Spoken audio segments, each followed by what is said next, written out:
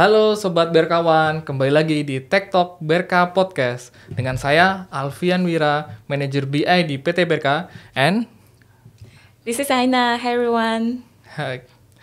Oke, hari ini kita em, mendapatkan materi yang sangat spesial, yaitu berkaitan dengan data analitik dan tentunya yang sangat spesial adalah BI Tools MicroStrategy. Oke. Uh, Aina, we can go to the material. Yeah, Uh, sure. yeah. This is about the um, data analytic background. Uh, what do you think about the data analytic, Aina? I think uh, data analytics has been a very big topic, a very trendy one, and everyone is talking about saying data is the new oil, which I agree. So we know the importance of data. It's just a matter of how and uh, what we can utilize from it. Yeah. yeah, yeah, correct, that's correct ya. Jadi eh, teman-teman semua bahwa data analitik itu sangat penting ya dan itu banyak diimplementasikan di eh, banyak industri ya, sobat berkawan. Dan tentunya eh, kita perlu tahu kenapa sih data analitik itu penting gitu ya. Dan Aina sudah menjelaskan bahwa data analitik itu eh, sangat eh, berguna bagi perusahaan untuk eh, menggunakan data-data mereka itu untuk mendapatkan opportunity baru seperti itu. Okay, uh, Aina, uh, if we want to talk about the data, uh, uh, sometimes uh, it will uh, become a cost for company, right?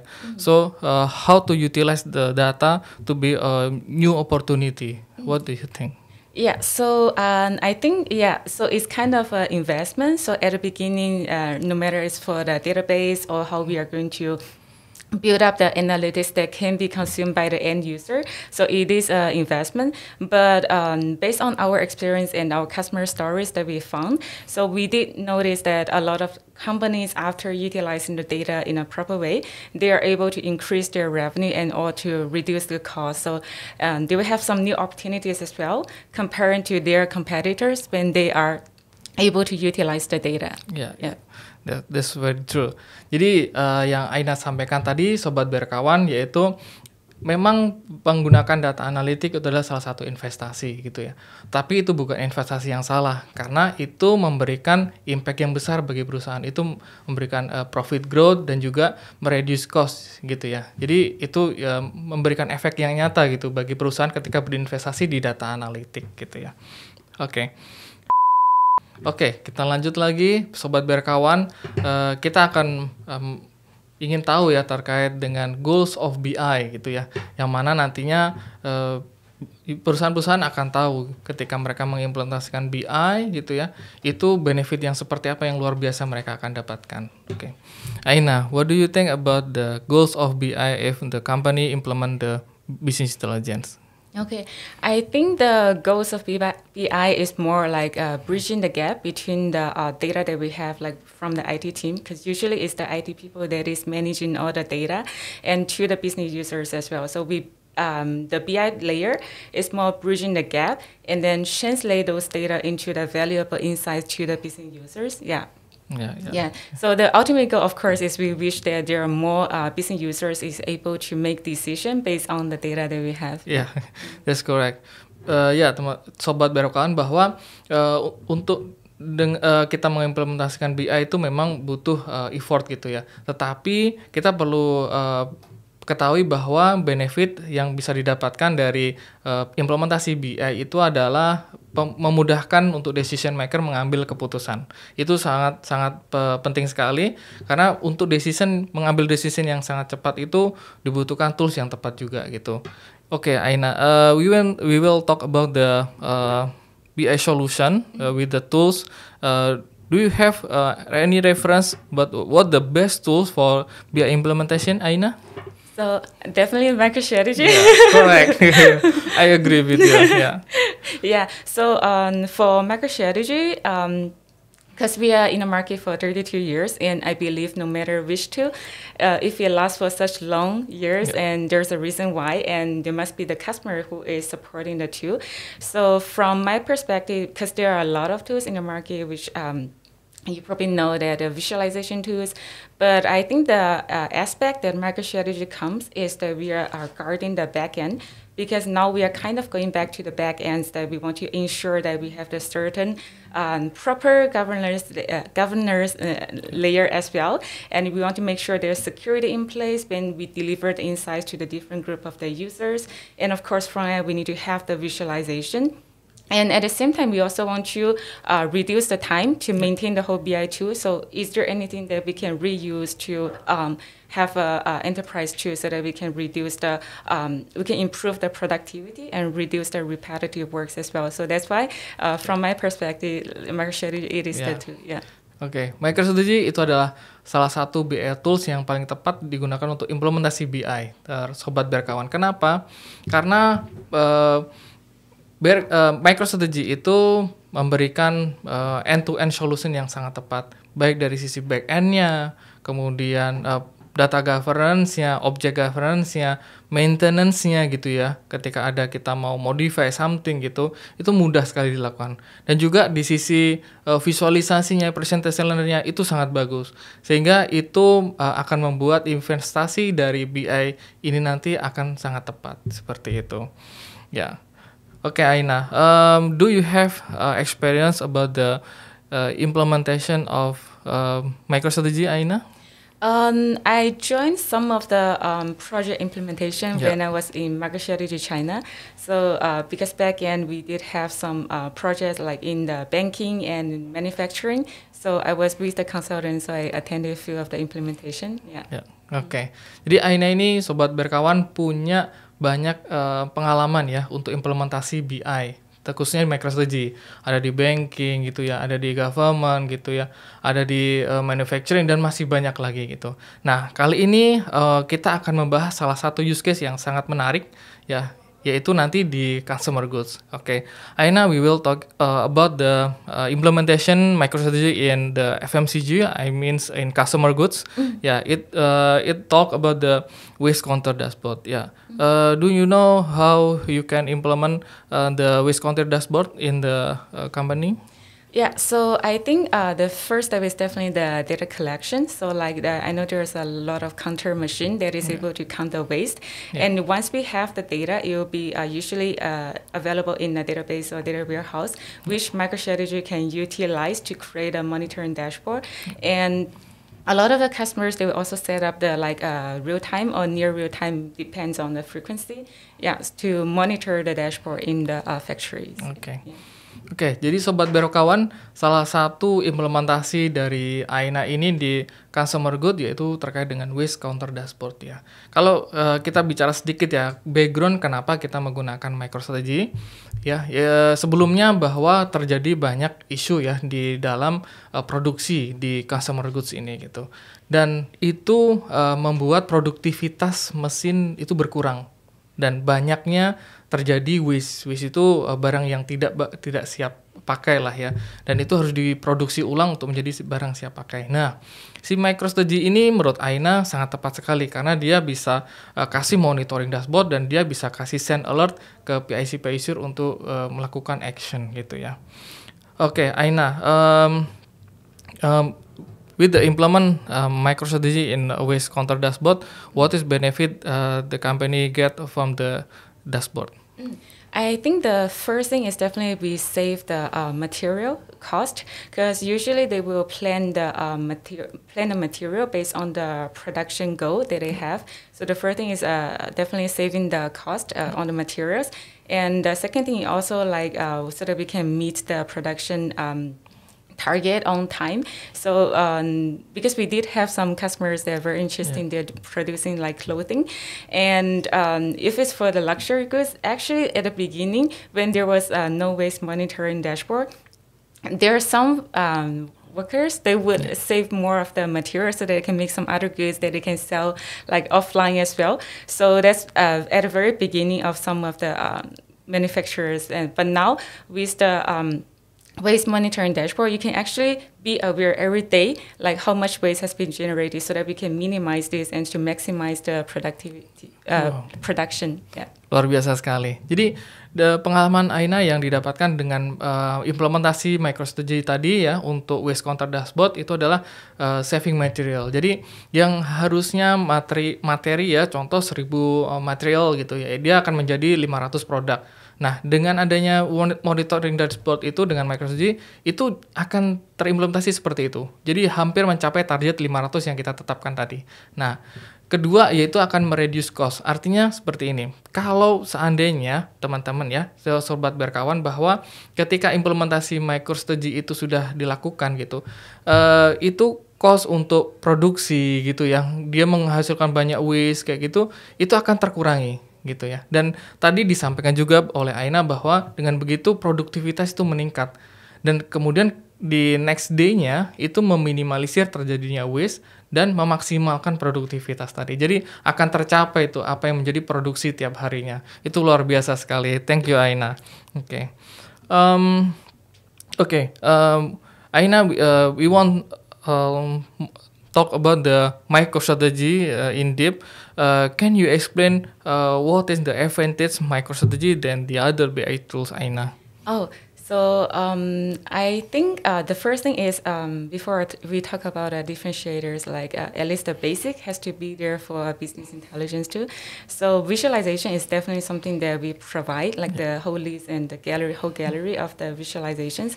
And um, besides the visualization, we also thought about how to provide the data because when the user um, I would say the business uh, analyst user expand. We want to be able to support them so that they can do the self-service. It's also a very popular term now. Yeah, so in order to support this kind of self-service, so the question is actually not on how many visualization we have, it's more on how we are providing data to the users because we don't want them to always come back to the IT people. So and that's a part MicroStrategy comes in. We do have a very special layer called uh, semantic graph. And with the semantic graph, we will have the, it's kind of like the abstraction, or you can call it like the data virtualization layer. We convert and translate the data into the business term so that the business users, they can just drag and drop any objects so they can create their own data sets. And um, this will keep the reusability as well, so that uh, we will ensure that every single, uh, like um, just now we mentioned about uh, um, number of waste, or maybe we have the profit margin as well. So each of the objects will have one single definition so that we ensure the single version of truth as well. And also because how the uh, tool is structured, so we can also ensure like uh, the reusability. So uh, yeah, it's linking back to the data governance because one definition means that everything is linked together, and then one once you change one thing, everything will be changed, and that's how we keep the data governance layer Oke, okay. mm. that's very great, Aina. ya. Tadi disampaikan Aina, apa sih kelebihan MicroStrategy itu uh, selain apa yang sudah diimplementasikan di Waste Counter Dashboard tadi? Itu yang pertama adalah visualization. Visualization MicroStrategy yang sekarang sangat luar biasa, punya banyak jenis visualisasi yang bisa digunakan oleh user. Tidak ribet, tidak susah, user hanya cukup drag and drop uh, objek-objeknya dan itu akan menjadi sebuah visualisasi yang sangat bagus. Dan kedua tadi disampaikan oleh Ina bahwa single data of truth artinya MicroStrategy itu akan menggunakan data yang valid untuk bisa menampilkan uh, visualisasi yang akan digunakan oleh user ataupun oleh manajemen level sehingga itu bisa dipercaya bagi user dan bagi uh, pemegang uh, kepentingan itu untuk mendesain sesuatu, untuk memutuskan sesuatu dengan sangat baik gitu ya. Dan ketiga yaitu ada data governance bahwa MicroStrategy itu punya uh, fitur juga untuk mengelola data governance itu dengan baik sehingga itu bisa dipercaya kita untuk uh, memvisualisasikan data dan juga untuk menganalisa data. Oke, okay. that is good, uh, uh, Aina, for the advantage of MicroStrategy. And uh, if we want to talk about the others uh, feature um, in MicroStrategy, mm. do do you have um, any opinion? The other features like maybe a chatting or, or something, Aina? Uh, yeah, we do have the uh, chatting capabilities because once we find the data points is abnormal, maybe uh, we will uh, want to talk to our colleagues. So we do have the collaboration feature inside the dashboard itself. So they, uh, the user, they can just directly write comments and just add another user, just like in WhatsApp. They, uh, they will be able to communicate with the users. And um, I think besides the collaboration feature, we also have a very unique feature in the market. We call it hyperintelligence. Yeah, it's correct. basically another way that we deliver the data to the users. Because uh, if we think about dashboard, no matter which BI tools, the first thing to increase the user adoption rate is that the user then will come to the dashboard that we created. Because no matter how pretty it is and how insightful it is. If there's no user coming to the portal, it can be a bit challenging to Yeah. um, yeah promote it. So that's why uh, we thought about a way to deliver the insights to the users. And one of the way that we have been thinking about is what if we can just provide the insights inside a an application or websites or uh, any kind of like mobile apps that users are using daily. So uh, that's why we invented the hyperintelligence tool. So what does it do is like if you think about me as a user, the first thing that I go to office is I will open my Outlook client. I will check my emails and see what are the uh, important emails. And from the email, if I need some information, like uh, if I talk about customer names, I want to understand the last touch point I had with the customer, I will be able to directly in, uh, enable the hyperintelligence plugin, and it will just present the customer information and all the hist- history data, like um, the portfolio or the last touch point and what the what is the type of the customer as well. So I will be able to immediately get an insight just inside the portal without like going to another portal. So I think that's something also unique in the market. Yeah, this is unique and very great and yes capability of MicroStrategy than the other BI tools, right? Jadi Aina tadi menyampaikan rekan sobat berkawan bahwa um, MicroStrategy itu juga punya fitur chatting gitu ya. Yaitu bukan uh, untuk sosial media kita chatting itu bukan, tapi ini fitur chatting yang sudah di-embed ke dalam visualisasi. Itu sangat luar biasa. Kenapa? Karena di samping kita bisa melihat analisa data di visualisasi dashboard tersebut, kita bisa berkolaborasi, kita bisa discuss di situ. Sehingga nantinya kita satu sama lain bisa memberikan kesimpulan terhadap data yang ditampilkan gitu. Namanya adalah fitur collaboration. Itu tidak perlu uh, kita hard coding nggak? Itu adalah fitur bawaan yang diberikan oleh Microstrategy. Kita tinggal men-utilize sobat berkawan.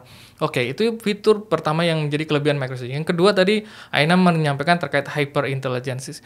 Ya, itu adalah em, salah satu fitur terobosan MicroStrategy yang dia itu memudahkan user untuk melihat eh, history datanya gitu ya, melihat profilnya dan sebagainya. Jadi user itu tidak perlu lagi dia masuk web, kemudian dia harus login dan sebagainya enggak. Jadi ketika user itu dia uh, masuk ke sebuah website, kemudian atau ke email gitu ya, dan ada keyword yang mungkin sama dengan apa yang uh, user itu ingin lihat, maka dia itu cukup menghover rekan sobat berkawan. Menghover nanti akan muncul tuh presentasi atau melihat uh, panel yang berisi data-data uh, dari si uh, objek tersebut gitu, keyword tersebut. Dan itu nanti sangat berguna uh, sekali bagi um, pemegang kepentingan ya sobat berkawan untuk melihat data-data yang tidak hanya di uh, dashboard tapi data-data yang lain yang bisa di provide oleh um, IT gitu dan itu sangat luar biasa. Oke, Aina, uh, yeah, that's a great um, feature in MicroStrategy, right? And if we want to know about the utilization of dashboard, um, uh, how to know uh, utilization of that?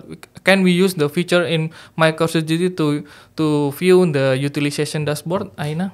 Yeah, yeah, of course. So, um, because of the architecture of the MicroStrategy platform, we do have a um, tool called Platform Analytics just to monitor all the uh, activities happen in the platform from which user viewed which dashboard and which is the uh, most popular dashboard. So, we actually have uh, around 11 out of the box monitoring dashboard from the user activity, user monitoring to the platform monitoring and to like uh, error troubleshooting as well, so that we want to use this kind of information to support the IT team to better understand how users they are using it, and maybe based on the behavior that we observe, we can uh, optimize the existing dashboard. Uh, maybe like uh, if we see some of the dashboard, maybe data volume is larger and it's taking longer time for user to run. We may also want to tune it as well. So we do have the um, um, telemetry module that helps you to get those insights. Oke. That's great, Aina. Oke, okay. itu tadi yang disampaikan Aina itu terkait dengan namanya platform analitik, sobat berkawan. Apa sih platform analitik? Itu adalah satu salah satu fitur di MicroStrategy untuk melihat utilisasi dashboard, untuk melihat activity user gitu. Jadi seandainya nih uh, tim IT sudah membuat dashboard gitu ya, dan kita pengen tahu sebenarnya dipakai nggak sih si dashboard ini? Nah, platform analitik adalah fitur yang sangat tepat sekali untuk melihat itu. Jadi akan bisa dilihat seberapa banyak utilisasinya, seberapa banyak orang melihat itu, dan kapan terakhir dilihat orang dan siapa aja yang melihat. Nah, itu sangat tepat sekali menggunakan fitur yang namanya platform analitik, sobat berkawan. Dan juga tadi Aina menyampaikan ada yang namanya telemetri. Jadi ketika ada satu dashboard dengan uh, data yang sangat besar, itu bisa dilihat juga uh, bagaimana mencuningnya, bagaimana uh, membuat itu performanya semakin baik. Itu menggunakan fitur telemetri tersebut. Sehingga Microsoft itu adalah salah satu BI tools dengan fitur yang sangat banyak melimpah dan itu bisa langsung digunakan. Tidak perlu harus hardcode, tidak harus banyak modify custom dan sebagainya. User tinggal menggunakan dan itu bisa langsung dipakai gitu. Aina, uh, can we apply all feature uh, that you mentioned before in waste counter dashboard?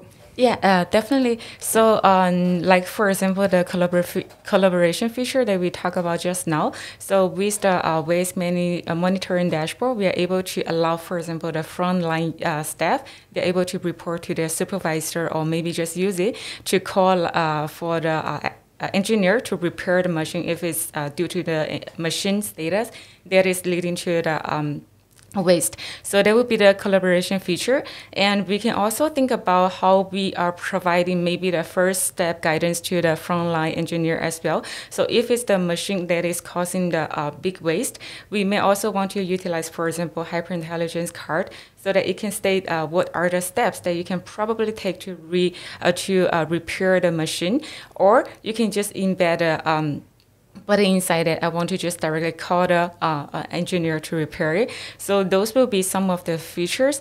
And the other features that are commonly used is uh, more like alerting. So because sometimes the um, staff may not be in front of the dashboard the whole time, so we want to be alerted. Uh, we want to understand when there's an increase of job in some certain area, like the number of waste. If it's increasing, we want to be alerted maybe through the email or maybe through the mobile uh, notification. So that is also something that we can set up in MicroStrategy. Okay, mm. that's very great, Aina, because.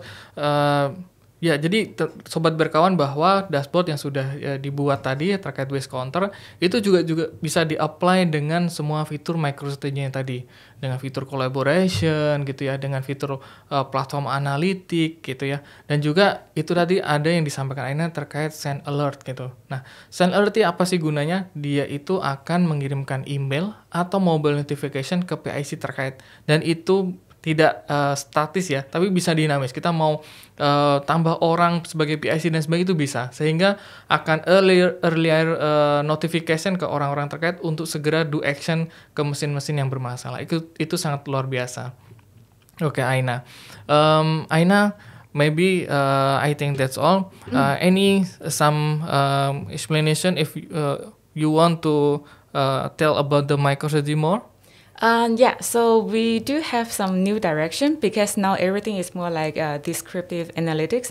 So it's based on the data that we have. We are monitoring and uh, doing the alert to um, take action. So those are just some of the features that we have. So in the bigger picture and based on our roadmap, we will be moving to the predictive analytics. So there will be more AI and ML embedded in the tool itself so it can be something like uh, coming back to the waste monitoring dashboard. So it can predict which kind of machine, what, which machine in which uh, production line, maybe it will have some issue because uh, if we prevent it in advance, we can actually even saving uh, more cost for us. So yeah, that would be the direction to go. And I think we will more, we'll have much more um, interesting and creative features in future as well.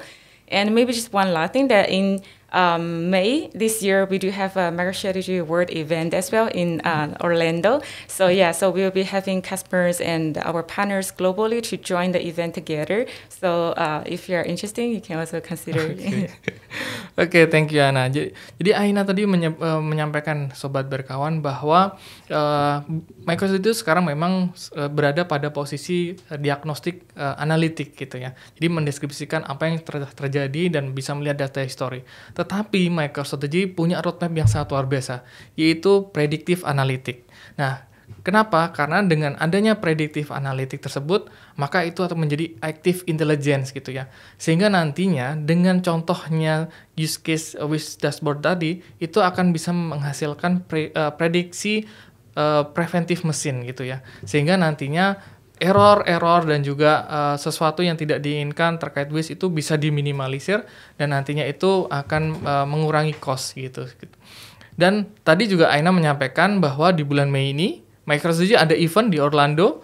Semua partner uh, dan juga um, klien ataupun customer bisa join ke sana. Seperti ya Aina. We can join in May, right? Yeah, yeah, yeah. Orlando. see you in Orlando. yes, you in Orlando, uh, sobat berkawan. Oke, okay, mungkin cukup sampai di sini, sobat berkawan. Uh, apa yang mungkin kita bisa simpulkan di sesi ini itu adalah uh, data analitik itu sangat penting gitu ya bahwa itu akan bisa memberikan uh, growth revenue uh, profit yang sangat besar dan juga untuk reduce cost. Nah, salah satu tadi yang disampaikan Aina terkait implementasi waste counter itu menggunakan namanya tools BI Micro Strategy. Itu adalah tools yang sangat luar biasa dan nantinya itu juga uh, mempunyai fitur yang sangat banyak. Sobat berkawan perlu tahu tentang implementasi MicroStrategy. Jadi uh, bisa komen di bawah untuk bertanya gitu ya. Sampai jumpa lagi sobat berkawan, jangan lupa uh, like, share dan subscribe. Thank you Aina. Thank you.